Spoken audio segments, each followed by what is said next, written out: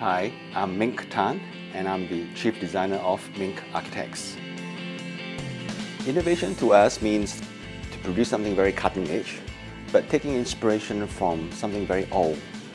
Innovation plays a great part in our work in the way we improvise based on our inspiration from the old Asia and we fuse it with the realm of technology and progress from the West.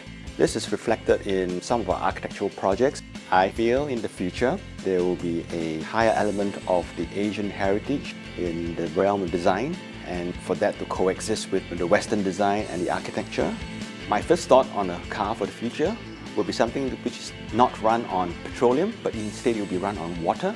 And it has no wheels because it just levitates, so it can go up and down and it avoids all the problem of traffic jam and all your parking conditions and so forth. Our first thoughts have created history. Yours could shape the future. Share your thoughts at firstthoughts.com.sg.